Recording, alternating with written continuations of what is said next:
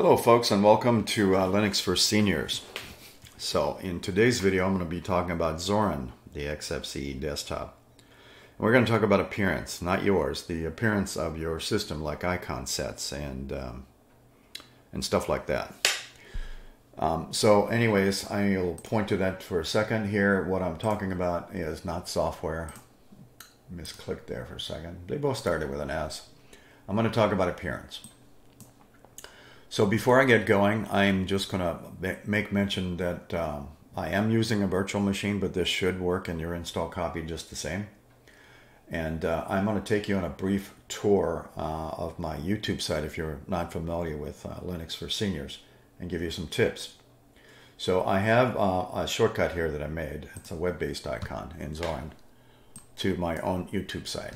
So I started this uh, project up on the 9th of February 2023, and I've already got uh, somewhere in the vicinity of 40 videos. So um, my intent is to make simple videos.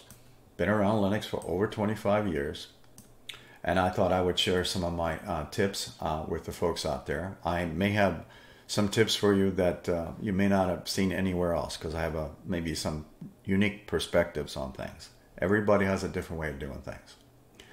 So um, this is really for everybody, but it's also good for the distributions that are out there, the Linux distributions. There are many.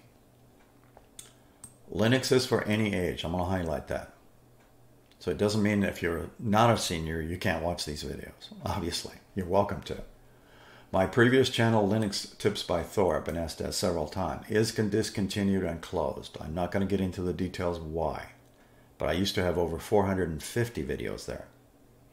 I had my comments turned off on that particular one because it got ridiculous with the amount of abuse that people were trying to uh, squeeze by and uh, links that they were trying to post and language, salty language. So basically, I have top comments turned on on this right now, however they are screened. And if you do put in salty language or malicious links, they will be deleted. If it gets bad enough, I will turn off comments. Let's hope it doesn't get to that. And if you're going to make derogatory comments, don't take this the wrong way, but uh, please go subscribe elsewhere and uh, and um, just move on. Now let's go in a more positive direction. Uh, I do recommend that you watch my video on the largest screen possible for you. Since you're on mobile screens, if you are talking about uh, like uh, cell phones, uh, smartphones, they're pretty small in size. So I'm going to do this little trick here. This is Firefox web browser. So some of you folks know what I'm doing right now. Okay. So some of you seniors may appreciate this command for like this Firefox web browser. I believe it works in Chrome also. If you're not too sure what I'm doing here, I'm holding down my control key with my left hand and I'm going to release it now. And I'm using my computer scroll wheel, computer mouse scroll wheel to resize everything. Comes in handy. So keep that in mind. All right. Um, if you have a large smart TV, more likely you have the capability of installing the YouTube app there and you can watch my videos there. So whenever you're watching any of my videos, uh, just go to your smart TV's YouTube site and punch in Linux for Seniors. That way you can watch my videos there also. And if you're trying to follow along, that may be fun. If you're on a laptop and let's say you got this distribution installed like Zorin. It may be fun to see that on a bigger screen while having your laptop open and following along. All right, with that said, I'm going to move on. If your video is blurry, there's multiple reasons for that. Your internet connection is slow. You, my video just got uploaded and it's still the YouTube servers are still replicating that across the world because this is worldwide. I had a nice comment from somebody in Africa just uh, the other day. And thank you for that, gentlemen. Very kind words. But more importantly, what happens is when I upload a video to a local YouTube server, more likely a Linux server, it uh, takes my video, crunches it, and then uh, sends it off eh, or replicates it to the world. Now, my videos are almost always filmed in 1080, if not 4K. Just wanted to let you know that. So it, what am I talking about the YouTube player gearbox? So let me give you a prime example of that. I'm going to go to the home screen, pause this loud guy. So this would be a typical video player for YouTube. So you hit the play button. There's a gearbox here. Scroll down. If you see 360, it's more likely in the grainiest um, setting there is. There's uh, some reasons why it switches to that sometimes. Maybe you're watching YouTube during prime time, as they call it. In other words, the busiest time of the day. You can manually check these by clicking on them. As in my case, this video was recorded in 4K, obviously, because I have a selection for it. Or I can drop the resolution down to something else. Your monitor may vary. In other words, it could be different. Just be aware of that little gearbox. Now I'm going to go to the About section. Let's talk about what I have for links. I have distrowatch.com if you're looking for other Linux distros or information. I have gnome-look.org, a nonprofit website to get these extra mouse pointers, even colorful ones. I have multiple videos already on this. And then some extra links here. If you're using a standard web browser, a standard web browser, you will have some links up here. There's only five. That's a limitation of YouTube. DistroWatch is one. That little foot goes to gnome-look.org, where you can get extra mouse pointers and themes. If you are using a standard web browser, you will also have this magnifying glass. This is different from this magnifying glass. Your mobile apps, like on your smartphones, only have the search feature up here. In other words, searching all of YouTube. This one does something special. Just keep an eye on it. It will still be here, even if I go into playlist or even videos. It's still here. So while I'm in here, you can scroll if you like. I currently have around 40. That's not too bad for somebody who started this on the 9th of February. I believe that's about two weeks ago. Uh, but more importantly, what does this do? So I'm going to click it. All my videos and the videos will be keyword indexed in the future also. My previous YouTube site used to have the same feature. So I'm going to use the word mouse as my example, not the rodent, the computer mouse. I'm going to hit enter. It's going to try to find every video that I currently have in my library that has the word mouse in it. There's mouse pointers for MX. There's mouse pointers for Pop OS. Something to do with Linux Mint that has the word mouse in it. Cinnamon. Custom mouse pointers. Here's a video for, um, for that. You get the idea? Okay. So you may want to check that periodically. I try to be inclusive of most distributions, but I can't squeeze everyone in there. So, and it takes time to make multiple videos of anything. Now, with that said, um, I'm going to click the Community tab. If you have a smartphone, you could have some fun with this and share this with your friends and family. I'm just going to use the example of an iPhone, for instance. Let me make the bottom a little bit bigger. You can pause this right now and take uh, out your smartphone. I'll give you the example of an iPhone. If you got an iPhone, open up the camera, point it at this thing providing, you, of course, you're not watching it on your iPhone. Uh, but anyways, if you're watching this on a screen, uh, other than your mobile devices, you point your your uh, smartphone at this camera, and uh, your there would be a yellow box appearing somewhere on your screen. That'll say, um, you know, YouTube or something like that, and you click it, and it's the link to this Linux for Seniors. So if you like what you see on my channel, um, or this video, hit subscribe. None of my videos, none of my videos are less than two minutes. Let's talk about what you came in here for. All right, so I'm going to go to the menu. So we have Zorin appearance. We can also make other changes. We can go and hit settings and talk about appearance. There's a bunch of styles. There's a bunch of icons. You can also add stuff and both. Now here is where I'm going to advocate that you make screenshots because the combinations between these two are a lot. And if you forget and you want to go back to your original theme and you didn't have a screenshot, you will be in there clicking between these two for a long time. So let's do this smart. Let's walk over here and type in SC. What I'm looking for is screenshot. I could add it to my desktop, add it to the panel. I can do both. I'm just going to do the add it to desktop first. Then I'll show you add it to panel later if you're not too keen on how it does that. So I'm going to put that there. The only thing I failed to mention was I did not do this, and I apologize. This will only take a second. So this is just the Zorin logo, and that's pretty uh, typical of that Neofetch command, but this is Zorin OS 16.2, the XFCE desktop. I apologize. Forget about the rest of the stuff. Okay, let's move on. So I made a, put a screenshot tool on my desktop, and it's very simple to use. I only use these two. You can also uh, experiment with select region if you like.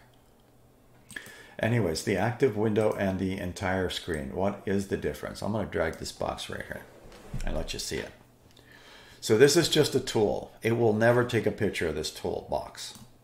It will take a picture of, if it's the entire screen, it makes a picture of this and your wallpaper and whatever icons you have and the panel bar. If you're not familiar with the Zorin uh, interface, this is your panel bar downstairs. So when you are having wallpaper that are really dense, you got photos of your children or pets or some other dense wallpaper, for instance, that has a lot of color, it adds to the file size. So a lot of your entire screen sizes will vary depending on your wallpaper is what I'm getting at. They're normally larger though. If you put on a black wallpaper, for instance, it'll be a smaller file. Does that make sense? So what I'm going to do is point to this down here for a second because that's normally defaulted. If you don't need this mouse pointer picture on it, then deselect that. Okay, so that's currently grayed out for the entire screen. I don't use this box at all, so I'm going to take the screenshot. Now I get a mini thumbnail. The common action is save, and that's what you want, and hit OK. So you have some options to send it where? Where are you going to save this at? I'm going to save mine on my desktop, and then I'm going to talk about some best practices, or at least my way, of um, doing some, um, how do I put this, um, filing of those screenshots. All right, so I created a screenshot. I'm not done. I'm going to create another one with the active window. Again, it doesn't take a picture of this box, so you can place this anywhere. You can place it right in between there if you like. So it makes a, a, thumbnail of that box right here. That is the active window. This is not the active window. I'm going to save it to the same location. And now I have two of these. Now I'm going to minimize this for a second. Let's talk about these screenshots. So you can clearly see everything in here. I got my wallpaper, my appearance box, my icons, my panel bar. Okay, you've got that so far? Let's look at this one. All it is is this tiny little box. That's all really I want. I wanted to know where I started from. Why are screenshots important? Anytime you make system changes, it is advisable to uh, make, um, I'll do another one here. Let's say you were monkeying around with your fonts and your custom dots per inch setting. Wouldn't it be a good idea to have a reference in case you made a mess and want to go back to fix it? I think it would be beneficial, beneficial to you. So I'm going to do a screenshot of that one even and save it to the same location. Now I got three of these. I can do other settings you know, you can go to the other settings in here and uh, let's say you wanted to uh, take a photo of this, for instance, or a screenshot. And by the way, anytime you alter your resolution and refresh, right, if you have other options and hit apply, and your screen goes black for more than five to 10 seconds, leave it alone. Do not reboot your machine. Allow it to time out and it should go back to the previous. I'm to make a screenshot of that just because we want some extra screenshots we're playing. I'm going to send it to the same place. So we have four of these. Now I'm going to close this for a second and reopen this. So we're going to go to settings, drag the box over and appearance. And then I'm going to talk about uh, the best practices and how you can move files and stuff like that a little bit later. But I want to bring this up just to let you see the color of these icons. And of course I could uh, resize these on the fly with my little tip of holding down the control key and using my computer scroll wheel. Okay, you can also do it the old-fashioned way. All right, so I just wanted to let you see the color of these icons. So this is my home folder, Mr. Senior. You like that? so I just click that. Then I click that. Then I click this. Let's take a look at some of these menus. Let's go change the icon because I'm going to mix it up a little bit.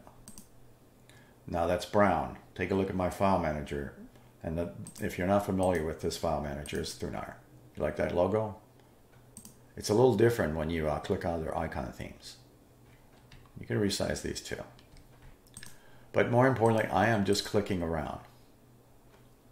How about that one? You like them apples? Okay. Now I'm done playing. I forgot what I originally started with. What combination of these two guys? Oh boy. All right, first of all, that's barely, I, I can't see that, so it's kind of hard. I can try to switch that to a different theme temporarily, but I still don't know what I was. Well, this is where this comes in handy. So let's go fig figure this one out. So I'm going to first go to Style. We're going to look for this Zorin Blue Light. That's that one. What's the other screenshot? That was fonts.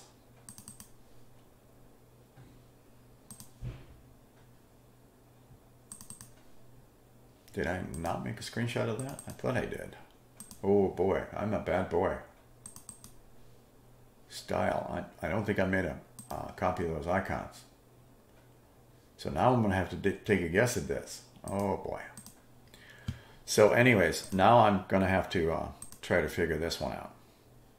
See the benefits of having the screenshots. So I forgot to take a screenshot of this. let's double check all this stuff.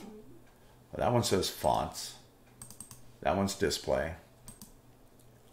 That one's the larger version of my style icons, which I don't need anymore because I think this one took, yeah, that one took over. So let's get rid of that one. So basically I messed up. I forgot to make a screenshot of my icon set in here. Okay. So I believe that's actually default there, but uh, so let's do that properly before I really make a mess of things. So I'm going to double click on that little icon, do active window, and save this screenshot this time, right? All right, send it to the desktop. So I got an extra icon there.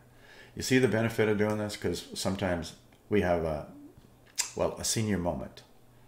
Some of our younger folks also have those moments. You, you don't remember how, what this was set for even um, two hours from now or maybe three days from now, unless you've got a great memory. I personally just like to use screenshots so I don't have to remember things like this. So let's talk about, um, now that I put this back, let's talk about what I can do with these things. So let's open up the file manager. So again, this is your file manager, Thunar. So sometimes when you click on different themes, that icon changes, by the way. There'll be one with a hammer logo in here. Anyways, uh, your file manager, Thunar, can do a lot of things for you. So I'm my username is Mr. Senior. You like that? Anyways, I am going to select a folder I want to put these into, or I can create one. But I'm going to stick mine in Documents. I'm going to create a folder by right-clicking and creating a folder. I could call it X, but I'm going to call it something more, well, something more descriptive. So screenshots it is and hit enter. Then I'm going to open that. So my path is Mr. Senior Documents screenshots. So nothing's in here. So there's several ways of doing this, folks, to bring these files into here. I could do a cut and paste. I can do a copy and paste and leave the original. I could also drag it in here one at a time. I could also select and hold the control key and select and select. I could also do this again, there's multiple ways of doing things, and I sometimes have different ways of doing stuff. I'm going to drag a box around those guys and drag them and dump them in here all at once. All right, do I want this full screen? Well, I'm just going to operate in this mode. I'll make this a little bit larger. I'm using my little trick there. You can use it the old-fashioned way if you like. So I got some screenshots here. Do you like the labeling? Or do you want uh, some tips on labeling? All right. So if you're okay with the way you got these screenshots, um, let's leave it at that. However, if you are wanting to do this in a different way, so this is called display. So I'm going to right click on this thing and hit rename. It only highlights the first part of this thing. I'm going to call it display. Setting.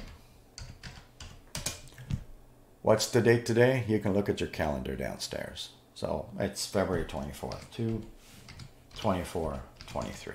I don't really need the time. And it saves it with a PNG ending just like the original file. Rename. So that's one. So we have that icon thing. We have icons and we have that one's fonts and this is the other one. Let's say you had added a bunch of these things and they're blown off the page and you have a scroll bar in here. You may also want to take two screenshots. Then you would probably want to call that part one or two. I'm going to show you an interesting feature that a lot of people may not want to uh, or want to think about. So I'm going to rename that and I'm going to call that one, uh, what is it, style? Style part one 2.24, 2-2423. Okay, so I'm going to put another dash in there so it doesn't look like a 12. So this is, uh, forgot the you know, spelling count, or doesn't, actually it doesn't. So this is uh, style or appearance, whichever name you want to give it.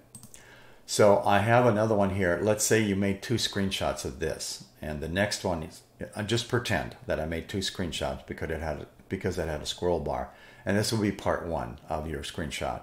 And you did another screenshot, which would be part two. Let me show you an interesting trick you can do with this text. Just hit the rename key, but don't rename it. All you do is right click on that blue highlighted line and hit copy, and then cancel that. Walk over to here, select it, right click, and hit rename, and then paste that. And then you can change that number to two just by clicking in there and then rename. Okay, so that one becomes part one and two. Okay, does that make sense? So what was this actually? This was icon sets. So we're to rename that to icons. Setting. And the day's date is uh, 2-24-23. You can, you can use any naming convention that makes sense to you. These are only recommendations. You don't have to use screenshots if you've got a good memory. Now, what I'm saying is it's good to have screenshots of anything if you're making system changes. And of course, icon sets and themes or appearance is making system changes. These files are extremely small. 48 KIB, in other words, 49,000 bytes. Very small screenshots.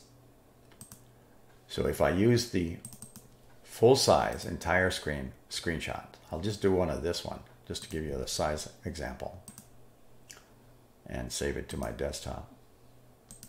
That file is a lot larger, isn't it? 1.7 MIB or 1.7 megabytes roughly. MIB format. Very huge compared to these. I'll draw a box around that. It's just my way of selecting and hit delete. So again, don't forget the resize thing. If you want to do the old fashioned way, then go ahead and uh, you can also use control and hold the key down and go plus, plus, plus. Uh, but I think it, it, you'll probably find that if you hold down your control key on your keyboard and use your computer mouse to scroll up and down, it comes in handy, especially when you're looking at thumbnails on pictures. Once you get them to the right size, just release the control key and they'll stay in this size. I don't have a lot of photos to scroll through. So if I bring this up, actually, it'll give me a bigger scroll bar. Now you can see what I'm talking about. Holding down the control key, I'll go and resize those again. Now I don't have a scroll bar. Now I do. These are massive now. And don't forget, you bring you brought in your um, picture of your your kids your friends, your pets, your wallpaper, you can always set these as wallpaper. All right, with that note, I will say thank you for watching, folks, and hopefully you subscribed for Linux for Seniors. And uh, basically, on that note, thank you for watching.